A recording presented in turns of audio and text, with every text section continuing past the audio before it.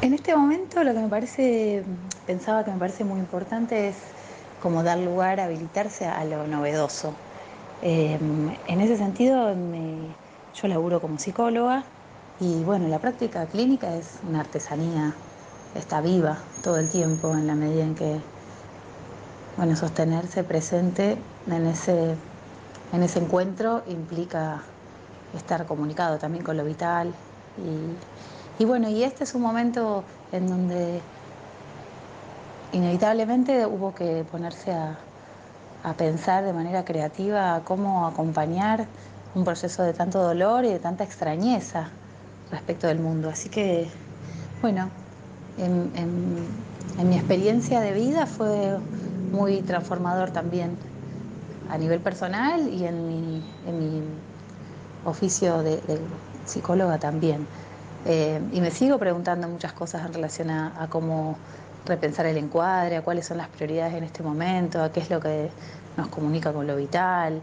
Eh, bueno, eso. Hola, ¿cómo les va? Mi nombre es Emiliano Samar y agradezco esta oportunidad de compartir eh, alguna reflexión sabiendo que se entramará con otras voces y eso ya es un regalo inmenso un regalo inmenso en este contexto tan particular donde somos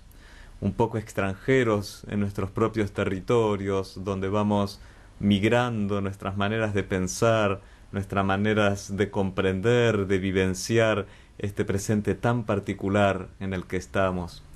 Y considerando las características eh, de este momento que vivimos, se me hace presente esa, esa imagen tan maravillosa de la Chiqui González, Rosarina ella, que, que dice que no se trata tanto de saltar, de ser el que salta, como de ser el salto, ¿no? Y esa, esa imagen maravillosa para mí siempre trae consigo a los otros y a las otras, porque ser el salto es de la mano de esos y de esas con quienes convivimos, con las vecinas, los vecinos, los compañeros, las compañeras, nuestros estudiantes, nuestros docentes, esa posibilidad de saltar siendo el salto, sabiendo que la trama con las otras y los otros es esa red. Y creo que es algo de lo que ha sostenido este tiempo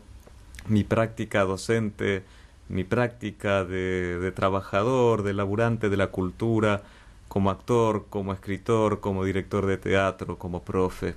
la presencia de esas otras y esos otros que ha otorgado sentido en un momento donde la fuera entró a casa,